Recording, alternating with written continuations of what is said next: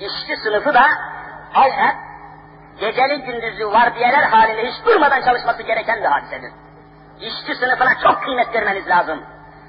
İşçi sınıfı bir cemiyetin ekmeğini, erzakını, makinesini, motorunu, metresini, kumaşını, elbisesini, kağıdını, kalemini, eşyasını, maddesini piyasaya kan damarı gibi süren bir sınıftır. İşçi sınıfına çok büyük ehemmiyet vereceksiniz.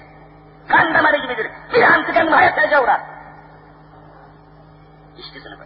Onun için Hz. Muhammed Mustafa aleyhissalatü vesselam öyle buyuruyor.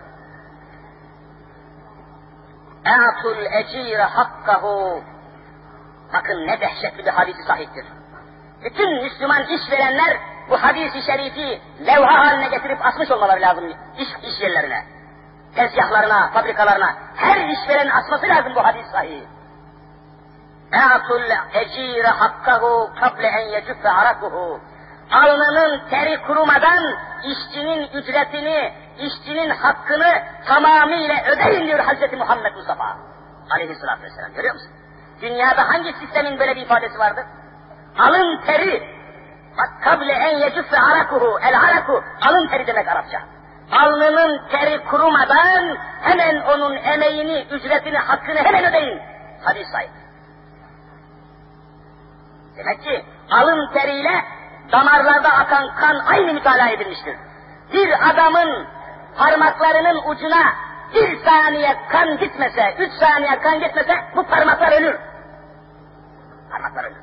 İşçi sınıfı ortadan kalkarsa cemiyetin en ücra köşelerine kadar erzak, ekmek gitmez, hayat ölür.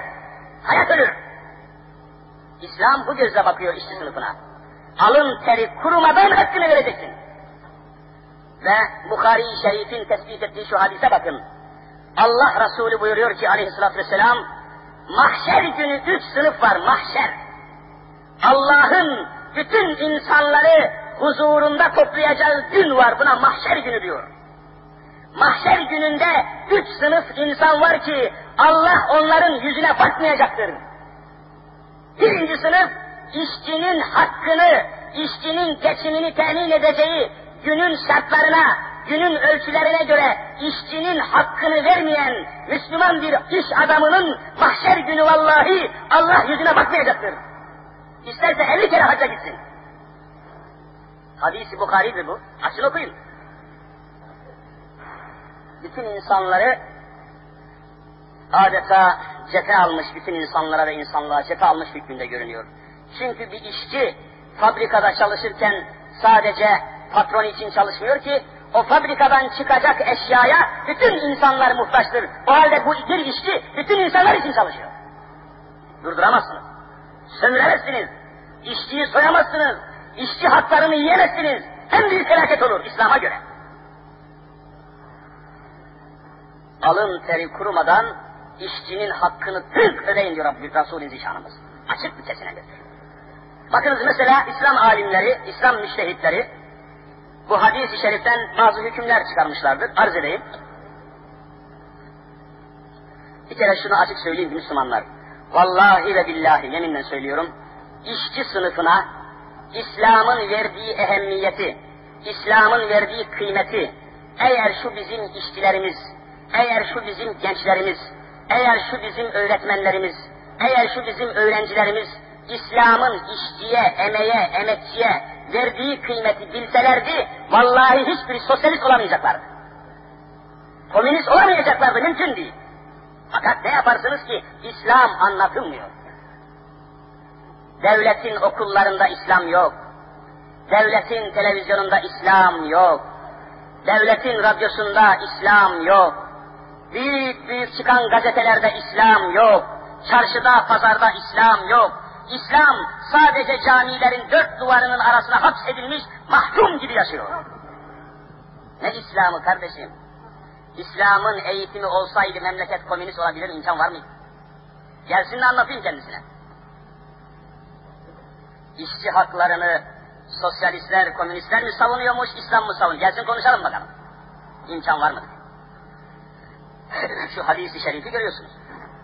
Alnının teri kable en yecüffe arakuhu alnının teri kurmadan, kesilmeden hakkını derhal verin işçinin. Allah Resulü emir veriyor. Ve bundan çıkan hükümler var bazısını arz edeyim size. Diyelim ki sizin işçinizle bir anlaşmanız var. İşçi. İşçinin ücretini zaman kesimleri içinde takdir etmişsiniz. Mesela bir işçiye yevmiye verirsiniz. Yevmiye demek bir günlük ücret demek. Yevmiye. Yevm Arapça gün, yevmiye günlük. Bir günlük ücrete yevmiye denir. Her akşam o işçi işini bitirdikten sonra eğer günlük ücret ödemeyi taahhüt etmişseniz, yevmiyeyi taahhüt etmişseniz, akşam işini bitirdiği an hemen çıkarıp yevmiyesini, parasını vermeniz lazım. Anlaşmanız böyleyse. Haftadan haftaya ücretini ödeyeceğinizi taahhüt etmişseniz, her haftanın sonunda hemen ödemeniz lazım. Aydan aya ise aydan aya ödemeniz lazım. Taahhüdünüz neyse. Diyelim ki günlük ücret ödemeyi, günlük ücret ödeme politikasını takip ediyorsunuz. O gün işi bitirir bitirmez işçiye ücretini hakkını bir temamiha vereceksin. Tamam. Yalnız işçiniz dedi ki mesela, ustam dedi, her akşam her akşam ücretini vereceksin böyle anlaştık ama ben her akşam ücretini alırsam kaybederim, çaldırırım, zay ederim, ziyan ederim, senin yanında kalsın da ben istediğim zaman alayım dese.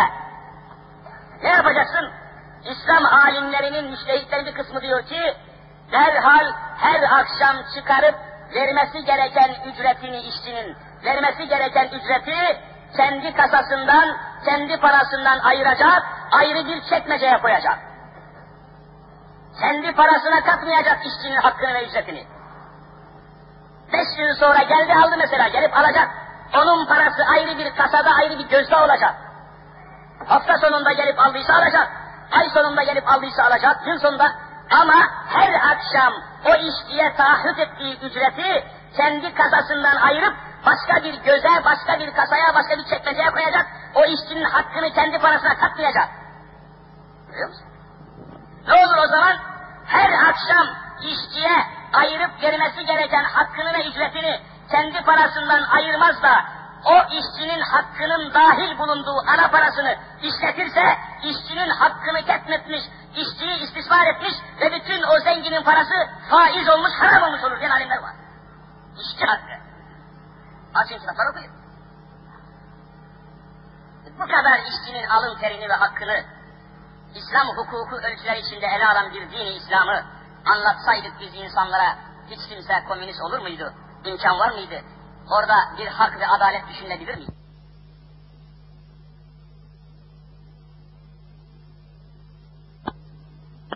vereceğin parayı ayıracaksın, sermayene katmayacaksın, beraber işletmeyeceksin ki faiz olmasın. Alın terini sömürmüş olmayasın. Ya İslam nerede, biz nerede? Nerede öyle hakiki Müslüman iş adamı? Gösterin bana bir tane. Ayağının altını öteyim gideyim.